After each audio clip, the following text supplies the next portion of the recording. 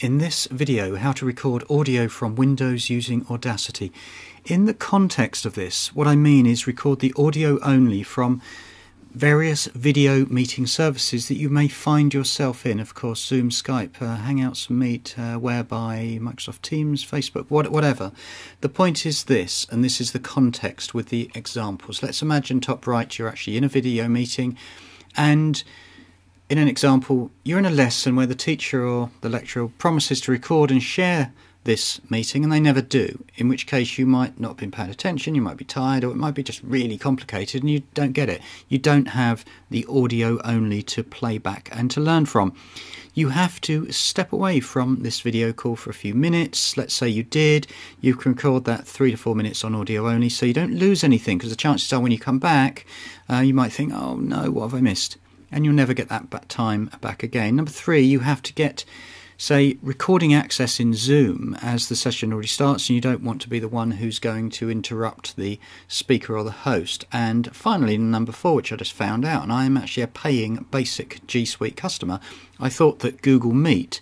Uh, you could allow recording. You can, but you actually have to have Google Meet Enterprise because that's the only way to record. And I'm like, what? Anyway, Bottom part is look, don't go around recording people covertly and in secret. Treat others as you would like to be treated yourself. With that said, there are some conditions I would say which is fair to record things, especially educational. So, this is how to do it. It's really simple. Um, you go to record audio from Windows using Audacity, top, uh, drop it down. There'll be a demo in a second. You drop it down to the source Windows Wasapi. I don't know if you say it like Wasapi, but it's actually called bottom Windows Audio Session API, and you select that. That allows you to get a ton of waveforms. As I said, I will demo it Windows Wasapi. And then you've got to select the microphone as the, in my example, speakers loopback. Loopback is the big deal. If you don't select loopback, you ain't doing it, my friends. Um, I made a previous video in 2018. I said use stereo. I'm not sure that you need stereo anymore. In other words, you can use stereo or mono. So, demo. For one I've prepared earlier, I'm going to bring in a simplistic music file from Windows Media and, of course, the thing which is free open source Audacity. So, in here, look, if I play, there's my little um, audio, which is from YouTube Music Library, I guess, and MME drops down to Wasapi. I don't know why I'm saying it like that, probably because it's Friday. Loopback, stereo. Then I can play again. Nothing's happening, obviously, because I hit need to hit record. So you'll notice that nothing is playing at the moment because I haven't got any incoming audio. How peaceful is that? So there's my little thing there where the moment I've stopped my media source, it is automatically stopped in Audacity, which is interesting. Didn't know it did that. To make sure that you've got the right sound play that's pretty much it, really, isn't it? So good luck with it. Obviously, you know, sorry, but you know, I'm getting to a level where Audacity, a lot of people are using it, and so I just want to crack on with it. Then export the clip. In my experience with a WAV file, I always used want a smaller file, select MP3, in the normal, usual way in this society.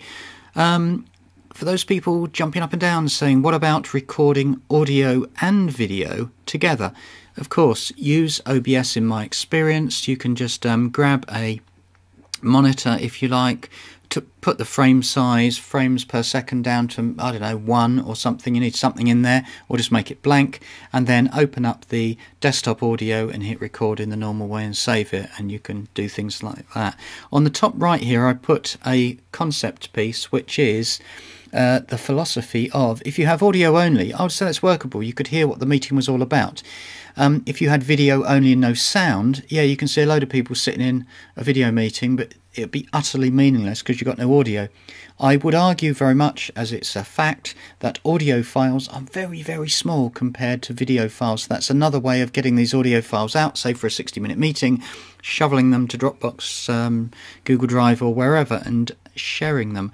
Once again, these were a few notes on how to record audio from Windows using Audacity with any service you well like. This also works with anything that is incoming into your laptop, desktop, i.e., from web browsers, media players, pretty much anything. Again, I'm not condoning any illegal use of recording from the web with whatever source it comes from. Just be sensible. Have a lovely day in this environment of working from home and remotely.